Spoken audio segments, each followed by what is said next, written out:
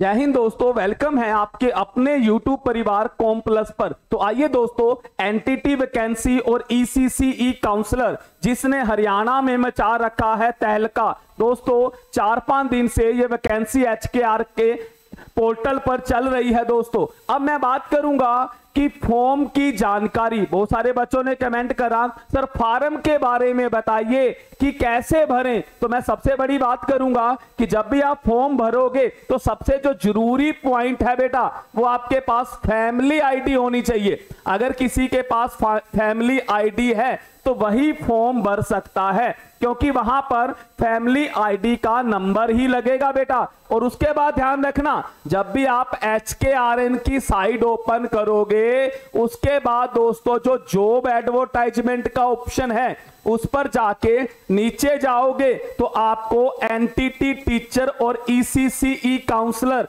का जो नाम लिखा आएगा, वहाँ से अपना फॉर्म दोस्तों अप्लाई करना शुरू करें। और इसके चार स्टेप हैं दोस्तों, चार स्टेप पहले स्टेप से शुरुआत करोगे दोस्तों, और ध्यान रखना किसी भी स्टेप में कोई भी दिक्कत नहीं होनी चाहिए। धीरे धीरे भरो चाहे एक घंटा लगाओ। तो अगर जैसे जैसे स्टेप बताए गए हैं वन बाय वन एक स्टेप आप पहले पहला पूरा किया, फिर सेकंड फिर थर्ड फिर फोर्थ लास्ट में दिक्कत आ रही है एक्सपीरियंस के बारे में। अगर दोस्तों, किसी के पास एक्सपीरियंस बहुत सारे बच्चे कह रहे हैं कि मेरे पास प्राइवेट स्कूल का है। तो बेटा, अगर किसी भी टाइप का आपके पास एक्सपीरियंस है एजुकेशन से रिलेटिव तो वो आप बेटा वहाँ पर अप्लाई कर सकते हो फोर्थ स्टेप के अंदर। अगर किसी के पास नहीं है तो वैकेंसी को वो भी भर सकता है। ये मत सोचिए कि मेरे पास एक्सपीरियंस नहीं है तो मैं वैकेंसी को कैसे भरूं? तो दोस्तों, भरा जाएगा फॉर्म तो अगर आपके पास एक्सपीरियंस है